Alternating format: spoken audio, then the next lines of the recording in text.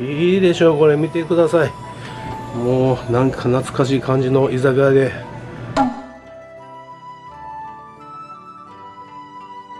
こちらは筋煮です。ホルモンのご茶に。いきます。生まれも育ちも京都のおっさんが京都をメインにたまに全国各地でうまいものを紹介する元祖京都食レポチャンネル。チャンネル登録お頼申します。京都秋です。はい、本日は先週に引き続きまして京都府は八幡の川口というところにやってきたぞ。はい。ほんで先週動画配信させていただいたんですが非常に激安のお好み焼き焼きそばなどをいただけるはい雪姉のよっててさんというお店がありましてもう僕が動画配信したら超話題に上ったお店なんですけどもそちらのお店さんがですねなんと横に同じく居酒屋を経営されてましてむちゃくちゃいい感じの昭和酒場ではい。今見てきましたけどほんまにむちゃくちゃいい感じなんで今から乗り込んでいきたいと思います。そしたら行ってくるぜ。 Go go go triple go let's go。行ってきます。そしたらやってきましたよ。隣にはもちろん駐車場。ってくぞ。ちょっと今日風がきついけど、えこちらが以前動画配信させていただきました。四亭亭さんですねはいむちゃくちゃ安いベタ焼きや焼きそばがいただけるお店です。ほんでその1軒2軒横にこちらですよ。たぬきっていう看板が見えるんですけど、えー、こちら。今から潜入しています。またこれもいい感じの安い料金じゃないですか。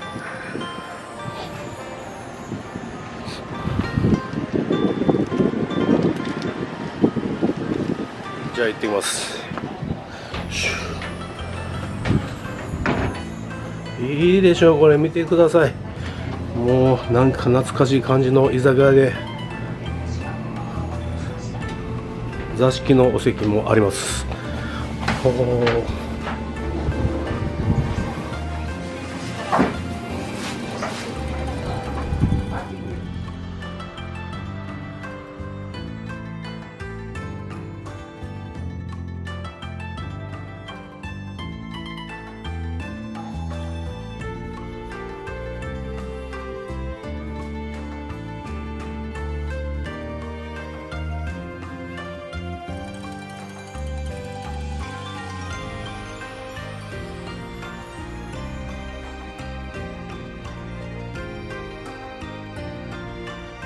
はいということでやってきました。本日はねこちらむちゃくちゃいい酒場でしょはいたぬきちさんっていうんですけども知る人ぞ知るほんまにもう映画にも出てきそうな感じの昭和感漂う居酒屋になってます。はい料理もねゆき姉の手作りでむちゃくちゃ美味しい料理がいただけるっていうことではい。まずとりあえず生からいかしてもらいます。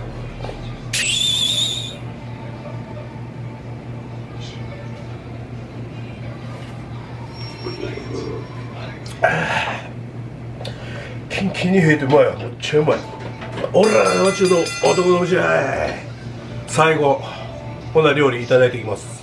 そしたらまずはこの月出しからいただきます。こちらは日替わりになってますが本日はかぼちゃむちゃくちゃいい感じの色になってるじゃないですか。うまそうですね。いやずしんとしたかぼちゃがやってきましたよ。もういきなり最初からうまそうですね。おふくろの味ですよ。いきますうん。うま食べ応えあるかぼちゃでね味付けがねほんま美味しい。家庭の味。かぼちゃも甘くていい感じです。最後。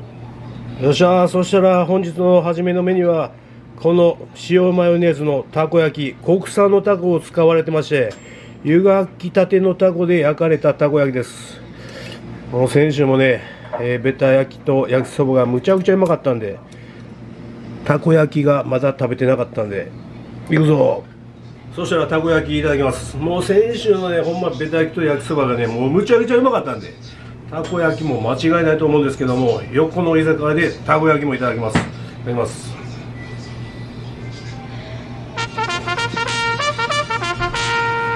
うん。うまい。中とろとろ外カリカリで。うん。タコもゴツに入ってるよ。うん。最高。うん。タコもね柔らかくて。この生地にねだしがねしっかり染み込んで。むちゃくちゃうまい。たこ焼きになってます。最後むっちゃうまい。そしたら来ましたよ。こちらは筋煮です。760円。すごい大きい筋が入ってますねこれ。うまそうですね。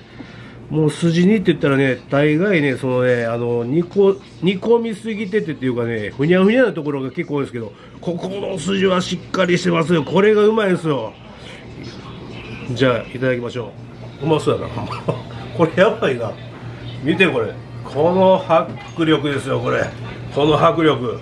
うわ九条ネギもたくさんいただきます。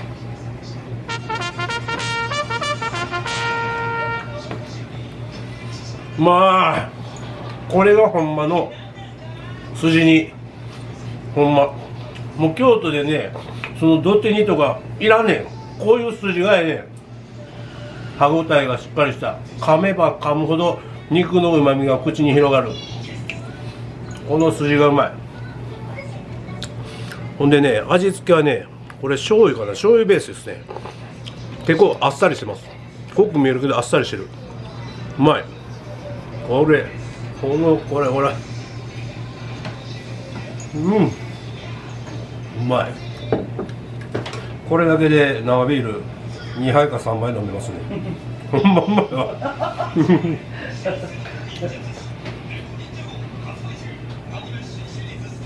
うわあホルモンのごちゃ煮があるんですよ。紹介します。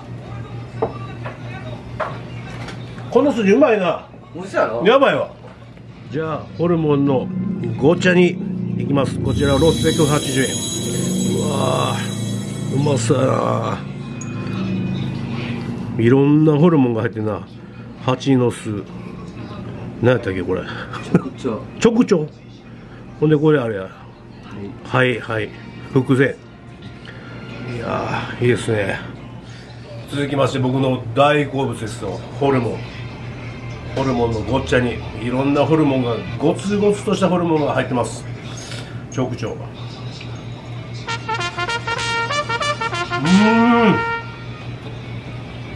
ん。うまい。もう臭みとかもなくて最高にうまいこれ。うん。これはい。伏線。うん。京都でねこんなもつ煮いただけるとこないっすね。今ね。昔は結構あったけどね。今ないっすとあそうなのこんなっちゃうこのゴツゴツした、うん、全部もう細かく切ってねお出され。細こう切りたいね細かく切りたいけどね。こんなサイズなんですよね。一個一個がゴツゴツした。俺も細かく切ってみたいわ。食べ応えがある。臭ないやろでも。全然臭ない全く臭ない。9時間炊くね。美味しい。ほんまに9時間経つの9時間炊はく臭みとんのにあ9時間やってみ？涙ちょっと切れてねえ。でも9時間炊いてる割にはそんなそのふにゃふにゃしてへんね。え。しっかり食感も残ってるし。酒入れてもったいないぐらいあ。酒入れて生姜入れて。ーいやもう雪姉の作る料理はねほんまねなんていうかスケールが違いますもう前も紹介したけどね横の寄ってってさもねあんだけ油かすと筋が入ってね500やで。おかしいやろ。その値段上げさせて。げなあかんで。あれはあげなあかんの。あれはあげなあかん俺あれ京都市だったら多分1200円取れる。わ絶対取るわ。あんだけ入ってたら。もう油かすなんてね今もうほんまくずで入ってるからね。もう雪姉のお好みはこんなん入ってるからね。やばい。それもなでもなマルチョウ入れたらもっとうまいあうまいな。マルチョウやったらうまいあそれははあの仕入れによって違うあのマルチョウは、ほんまはここはたぬきち鍋いうて鍋があるんです。おおあのー、冬は。このホルモン入れて。ホルモン入れて、夏食わらへんあそうか。さしな。それやったらちょこちゃ煮の方がいいかな。ああそうか。いや冬はホルモン鍋で食べれるらしいわ。いいねこれ。まだ楽しみやね冬もねはい。いや最高にうまい。ほんま皆さんぜひ食べに来てください。ほんまうまい。いやしっぽりいいお店でしょ。ほんまに。なんと今年4月オープンですよはい。驚きです。いや料理もうまいし真心もこもってるしほんまに最高の酒場になってます。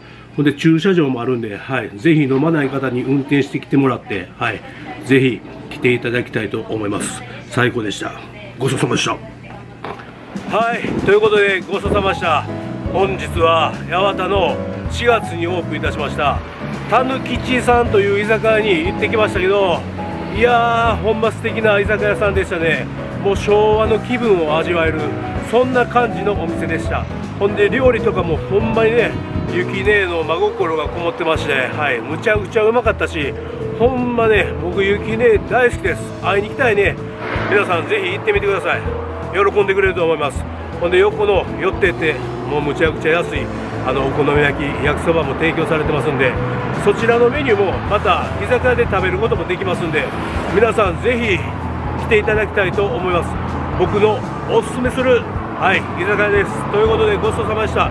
それではチャンネル登録よろしくお願いいたします。ご視聴ありがとうございました。ご視聴いただいている皆様愛してます。おっしゃー最後やったねほんま近くやったら毎日でも来たいそんな感じの居酒屋さんでしたありがとうございました